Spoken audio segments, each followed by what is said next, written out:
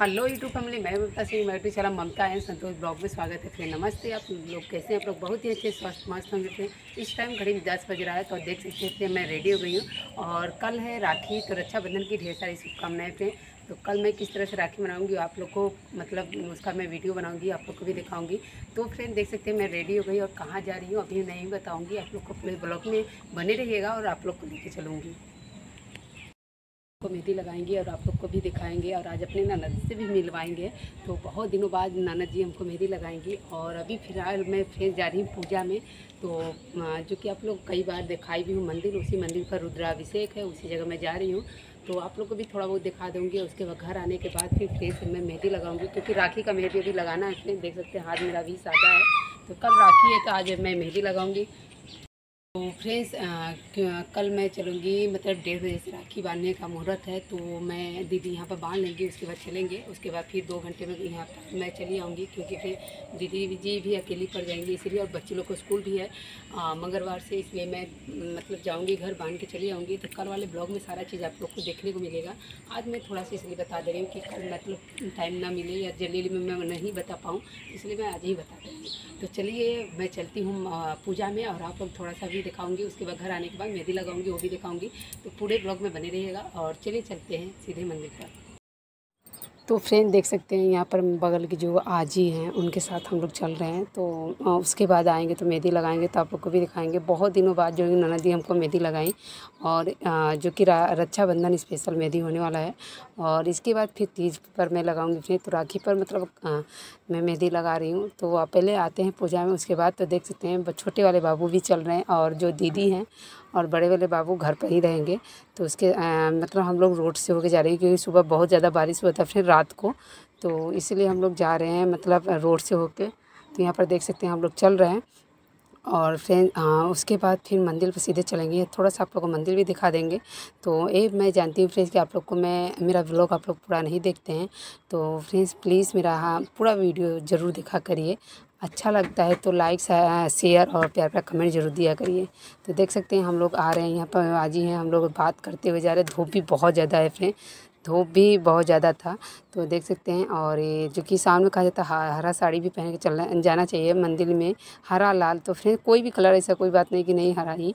तो सावन चल रहा है तो इसलिए फिर मैंने सोचा हरा साड़ी ही पहन लेती हूँ। और ये साड़ी बहुत ही मुलायम सॉफ्ट है, काफ़ी अच्छा लगता है हमको। आप लोग को भी मैं बताई हूँ। तो देखिए फिर यहाँ पर हम लोग जा रहे हैं तो उसके बाद थोड़ा सा आप लोग मंदिर पर भी दिखाएँगे और फ्रेंड्स नौ बजे ही था लेकिन हम लोग ग्यारह बजे था घर पर तो वहाँ पर पहुँचने के बाद मालूम चलेगा फिर तो देख सकते हैं हम लोग खेत से होके जा रहे हैं और उसके बाद फिर आप लोग को पहुँचने के बाद सारा चीज़ वहाँ पर दिखाऊँगी तो देखिए यहाँ पर हम लोग पहुँचने वाले हैं फिर, कई बार आप लोग को वो मंदिर दिखाई हूँ माँ दुर्गा का, उसी जगह रुद्राभिषेक है, भोलेनाथ का मंदिर है तो उसी जगह फिर तो देखिए खेत है कितना हरा भरा अच्छा लगता है सावन में। और देख सकते हैं सारे पेड़ पौधे खेत सारे हरे भरे हो गए हैं तो काफ़ी अच्छा लगता है। तो हम लोग खेत से होके जा रहे हैं। तो मेरे साथ आजी और बाबू दोनों साथ हम लोग चल रहे हैं। देख सकते हैं गाय का खाने वाला चा, चारा है तो हम लोग मतलब रोड से होके जा रहे हैं। तो देखिए हम लोग जा रहे हैं उसके बाद पहुँचने के बाद आप लोग को सारा चीज़ मतलब दिखाऊँगी। अब कोशिश करूँगी सारा चीज़ दिखाने के लिए थोड़ा थोड़ा ही बहुत ज़्यादा तो नहीं। क्योंकि आप लोग कई बार मैं दिखाती हूँ तो आप लोग पूरा वीडियो नहीं देखते हैं तो इसलिए मैं थोड़ा थोड़ा ही दिखा रही हूँ। तो देखिए रोड से मतलब खेत से होकर हम लोग पहुँच गए हैं फिर। तो मंदिर पर पहुँचने के बाद फिर थोड़ा सा रुद्राभिषेक रख गया था और उसके बाद भगवान जी का श्रृंगार हुआ, उसके बाद आरती तो देख सकते हैं यहाँ पर मंदिर है फिर। तो भीड़ बहुत ज़्यादा था, इसलिए मैंने थोड़ा थोड़ा ही आप लोग को दिखाई हूँ। और देखिए फ्रेंड्स, यहाँ पर जो कि आरती होने वाला है और आप लोग को थोड़ा सा मैं आरती भी, संग भी सुनाऊँगी। तो देखिए, यहाँ पर आरती हो रहा है फिर तो आरती होने के बाद चलिए आप लोग को संग भी सुनवाती हूँ देख सकते हैं माँ दुर्गा का मंदिर, आप लोग भी दर्शन कर लीजिए। और यहाँ पर देख सकते हैं, भीड़ तो बहुत ज़्यादा था, फिर मैं सबसे पीछे थी। तो चलिए आप लोग को मैं थोड़ा सा आरती और संग भी सुनवाती हूँ, उसके बाद फिर सीधे घर पर ले चलती हूँ प्रसाद लेके।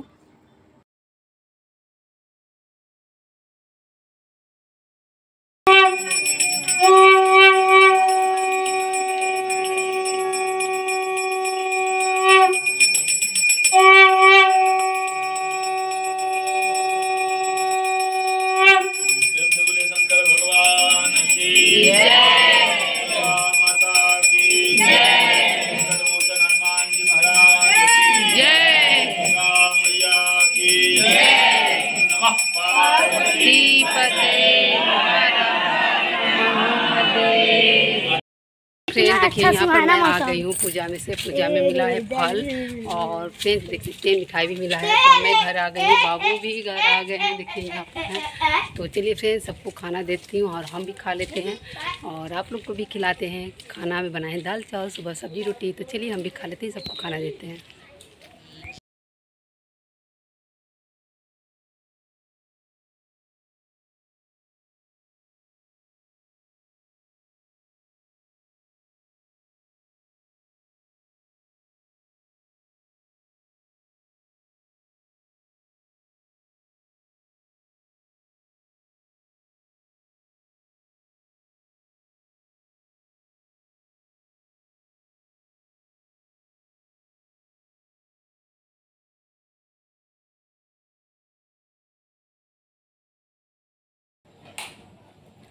तो फ्रेंड देखिए ननद जी मेहंदी लगा दी हैं और पीछे भी लगा दी हैं तो फ्रेंड मेरा मेहंदी सूख गया है। हाँ हाँ जा रहे हैं। और फ्रेंड्स अभी एक हाथ मेरा गया तो शाम को लगाऊँगी मेहंदी। और पहली बार ननद जी हमको मेहंदी लगाई है फ्रेंड तो काफ़ी अच्छा है, देख सकते हैं, पास से भी दिखा रही हूँ तो राखी स्पेशल मेहंदी। और बहुत ही प्यारा मेली है तो फ्रेश अभी इस टाइम में घड़ी में चार बज रहा है। और मैं आई हूँ सो गई हूँ और बाबू क्या ले रहे हैं फिर देखिए यहाँ पर। तो बंद कर मम्मी देख गया ऐसे निकला था। कुछ था अभी मैं छत पर आई हूँ और कपड़े सारे समेटना है, छत पर पूरे फैलाई हूँ फिर क्योंकि कल बारिश हुआ था और सुबह भी बादल छाए हुए थे तो मैंने सोचा तो हल्का धूप है, उसको छत पर फैला देती हूँ। और ननद दी से आप लोग को मैं नहीं मिलवाई फिर क्योंकि उनका थोड़ा तबीयत ठीक नहीं चल रहा है, स्वस्थ हो जाएँगी तो आप लोग से भी मैं मिलवाऊँगी। और फिर से मेरी ननद जी जो कि मेहंदी भी लगाई हैं, एक हाथ में, एक हाथ में शाम को भी मैं लगाऊँगी। देख सकते हैं कितने अच्छे से कलर मतलब लाल हो गया फिर जितना ही मतलब इस पर पानी पड़ेगा, उतना ही काला होता चला जाएगा, देख सकते हैं। तो कितने अच्छे से है। और कल है राखी तो राखी की ढेर सारी शुभकामनाएँ यूट्यूब फैमिली को। और किस तरह से हाँ मैं राखी मनाती हूँ, आप लोगों को थोड़ा थोड़ा सारा चीज़ मैं दिखाऊँगी कल वाले ब्लॉग में। तो फ्रेंड्स यहाँ दीदी जी जो कि नीचे बैठी हुई है, थोड़ा सा ऊपर से दिखाती हूँ आप लोग को। फ्रेंड्स यहाँ पर दीदी बैठी हूँ, वहाँ पर देखिए। ऊपर से। तो देखिए, वो नीचे बैठी हुई है। हाँ मैं ऊपर हूँ, छत पर। हाँ। नहीं पोलथीन में होगा ना दो पोलथीन में मिठाई है जो नीचे है उसी में पोलथीन में है बर्फ़ी। तीन डिब्बा हाँ तीन वाला है ना जो दो पोलथीन में दो मिठाई रखे हैं उसमें है।